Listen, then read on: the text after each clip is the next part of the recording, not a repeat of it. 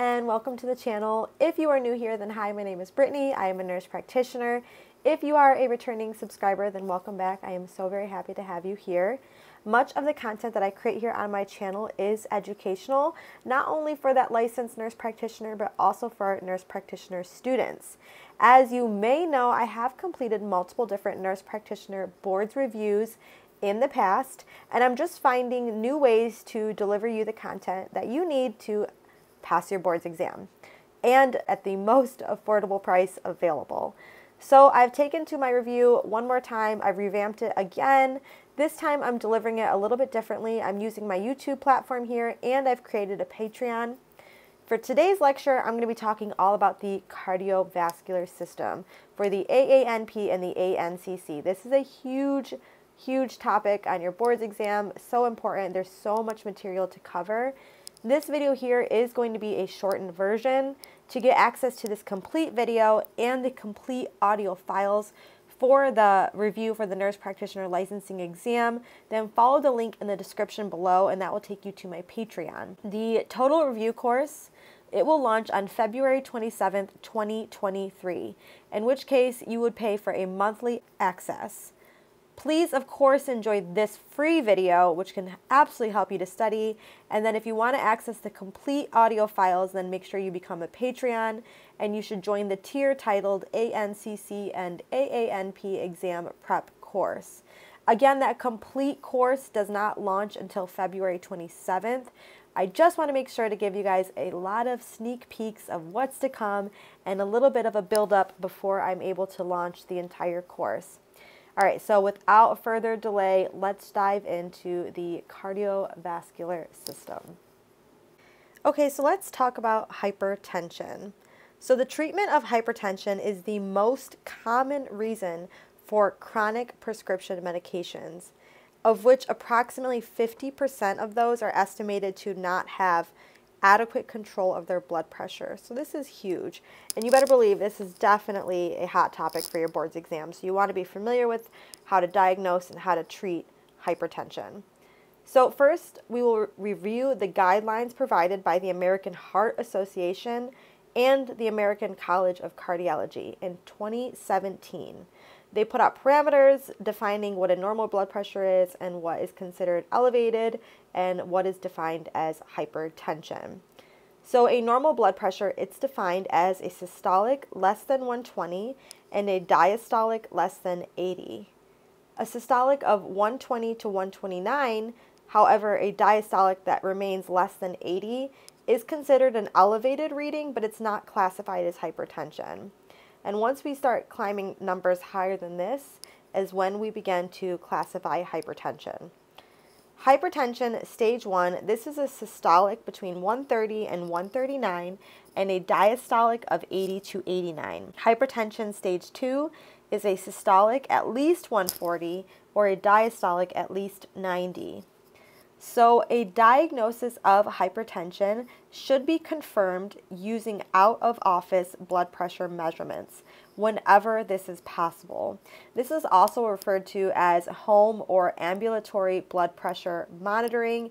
You may also see the mnemonic ABPM, which stands for ambulatory blood pressure monitoring. This is considered gold standard when diagnosing hypertension. So if the patient has one or more of the following criteria using that ambulatory blood pressure monitoring, then this indicates a diagnosis for hypertension. So there's three criteria here.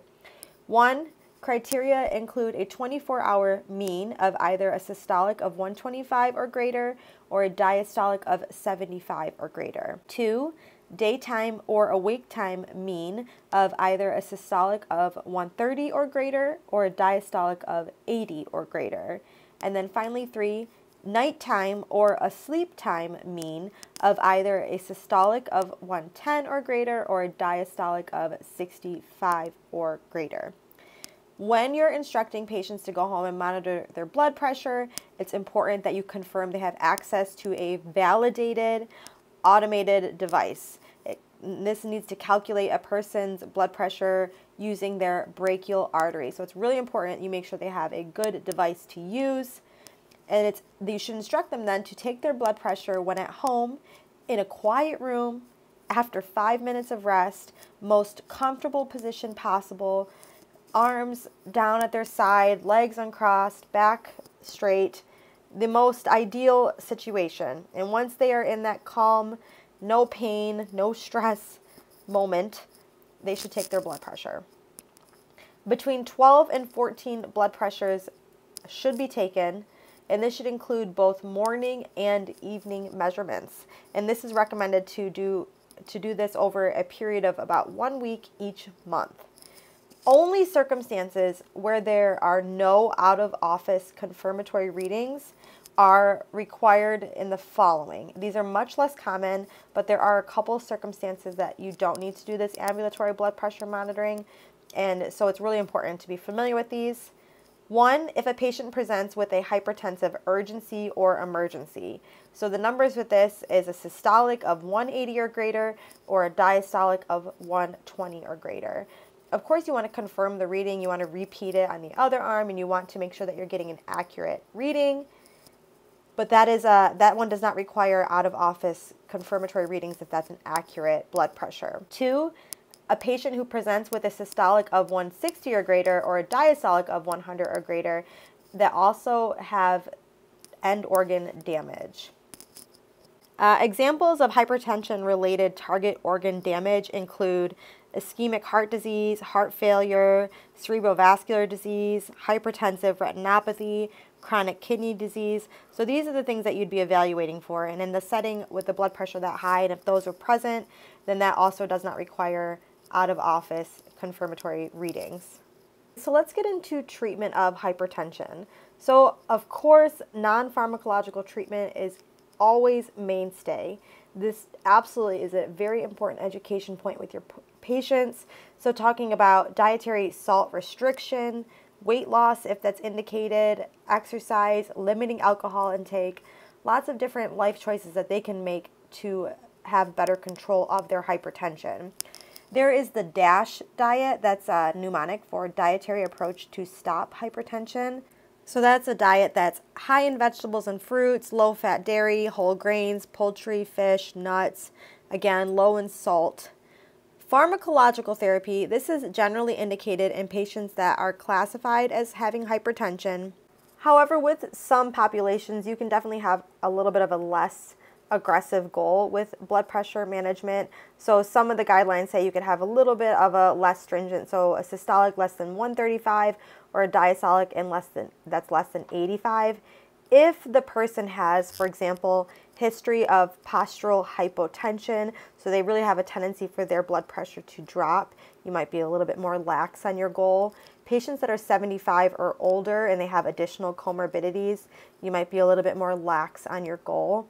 Also, if patients ha are having a lot of side effects or they're using multiple agents and there's a lot of drug interactions, you can, of course, always use your clinical reasoning to make sure that each time you're treating a patient with hypertension, you're kind of tailoring it to them and their risk factors and their comorbidities. So generally, we do follow those guidelines that we just went over with the systolic and the diastolic. But in those patients that are a little bit more at risk for going really low blood pressure, if they're elderly with lots of comorbidities, you can have a little bit more of that lax goal. So if you are going to be using pharmacotherapy for the treatment of hypertension, there are multiple first-line agents available. So there's the angiotensin converting enzyme inhibitors or the ACE inhibitors, the angiotensin 2 receptor blockers or ARBs, calcium channel blockers, and thiazide diuretics. All of those are considered first line. Also beta blockers and alpha blockers, but those are not first line agents for hypertension. They do they do have a purpose though, and we'll talk about those a little bit. But the main first line agents are what we're going to focus on. So, an important point with managing hypertension is that a single antihypertensive agent is unlikely to be successful if a person's blood pressure is more than 20 over 10 above goal. So that's really important to be aware of going in. If they are more than 20 over 10 above goal, they are likely going to need an additional agent. And so if you look at the data, it says increasing a hypertension agent dose should only be done one time before adding on a second agent. And this is because every time that you increase and titrate the dose up, you also increase the likelihood of them having negative side effects. So if it's not properly controlled with that initial dose, you can titrate up one time. If that's still not effective, do not titrate it up anymore. Instead, you will add on a second agent. And so let's go over the meds now. All right, so first up, let's talk about ACE inhibitors and ARBs. So both of these agents, they are used in the treatment of hypertension with patients that also have chronic kidney disease and heart failure. These are great drug classes for those patients. Specifically, those populations, I should say, they're definitely used first line for all populations, but those high risk patients really benefit from these drugs. So, side effects of ACE inhibitors are related to either decreased angiotensin 2 or increased kinins. So side effects related to the decreased angiotensin 2 would be hypotension, acute kidney injury, hyperkalemia, and then pregnancy complications. If a patient experiences hyperkalemia and it's unable to be managed, or if their creatinine increases over 30% of their baseline within those first six to eight weeks, then that ACE inhibitor should be stopped and should be obviously considered if they should go back on it or if they should switch agents. Uh, side effects that are relate, related to the increased kinins would be that dry hacking cough that we sometimes hear uh, patients experience with the ACE inhibitor. It is rare, but also uh, angioedema is a risk with the increased kinins. And so that is definitely something we want to have on our radar. So it's really important that you're familiar with the contraindications in these uh, with patients in these drugs. So if they're pregnant, they cannot take an ACE inhibitor or an ARB. Absolutely not. If you're managing hypertension in pregnant patients, and we'll go over this a little bit more, but um, labetalol, and that's the one time that you really see like a beta blocker as a first line agent with hypertension. Labetalol is first for pregnant women that have hypertension. Another option would be methyl-dopa and nifedipine. Those are also, but typically you'll see labetalol. Uh, ACE inhibitors are also contraindicated in patients that have a history of angioedema because we know there is a little bit of an increased risk. If they have a history of it, we definitely want to avoid this drug class in this patient. Also, if they are concurrently taking an ARB. So another important thing that you need to know is that ACE inhibitors and ARBs, those angiotensin receptor blockers, cannot be used together. Great agents cannot be used together. They have an increased risk for adverse events, potentially linked to increase in cancers as well. So we definitely don't want to be combining those. So for ACE inhibitors, all of those agents end in pril, P-R-I-L. So some examples would be like lisinopril, captopril. Those are definitely very common. ARBs have a very similar drug pro profile to ACE inhibitors. They are less likely, however, to cause that dry hacking cough that we can see with ACE inhibitors. So if they experience that cough with using an ACE, you can try switching them to an ARB. Um, so all of these drugs, they end in sartan, S-A-R-T-A-N. So for example, losartan, valsartan, those are really commonly used uh, for those ARBs as well. Both very great uh, drug classes, definitely again for those patients that have chronic kidney disease, heart failure. Just remember, we don't use them together. We don't use them in pregnant people.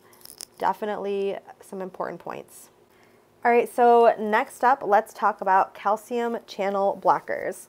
So calcium channel blockers, these can be used as monotherapy or they can be used as an adjunct to another antihypertensive agent.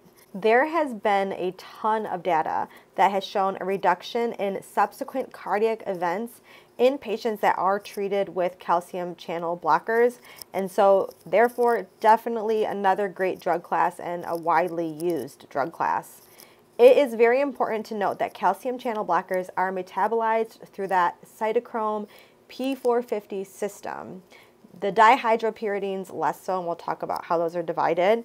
It is something to take note of. So they should be cautious if they're taking other agents that are metabolized through this pathway or if they're combining it with grapefruit juice. Definitely something to keep in mind. Uh, examples of other agents that work on that same cytochrome P450 system. So statins, azoles, definitely something that you want to be looking out for on their list of drugs. So like I said, this is this class is divided into two groups, the dihydropyridines and then the non dihydropyridines. So examples of non-dihydropyridines would be verapamil and diltiazem. The non-dihydropyridines, these are a weaker vasodilator. They work more to decrease contractility of the heart. They are used for hypertension, just less frequently. They're also used for chronic stable angina, cardiac arrhythmias, and they're also used to reduce protein in the urine. So an easy way to keep these up uh, remembered is that non-dihydropyridines are not preferred for hypertension. The non-dihydropyridines are not preferred for hypertension. They can be used again, but they're not as effective. Side effects of the non-dihydropyridines would be bradycardia, decreased cardiac output. It is relatively contraindicated in patients that are also on beta blockers or patients that have heart failure with reduced ejection fraction, patients with sick sinus syndrome, or if they have a second or third degree heart block. Also, chronic use of calcium channel blockers has been associated with gingival hyperplasia. So the dihydropyridines, however, are potent vasodilators. So those non-dihydropyridines really work more on the heart. The dihydropyridines, these are very potent vasodilators, minimal cardiac effects, and so they are definitely the preferred uh, treatment option for hypertension. Also, they're used for chronic stable angina as well. So as you can see, the, the dihydropyridines, those all end in pine, P-I-N-E. So amlodipine, nifedipine, nicardipine are all examples. Potential side effects of this, the dihydropyridines would be headache, lightheadedness, flushing, dependent peripheral edema, and like I said, gingival hyperplasia can occur with chronic use of all classes of those calcium channel blockers. Peripheral edema. So this is seen in up to 30% of patients being treated with calcium channel blockers. And so the literature says instead of adding on a diuretic to try and correct that peripheral edema, try a combination of reducing the dose of the calcium channel blocker and then adding on an ACE or an ARB. Or you could try switching it to a non-dihydropyridine.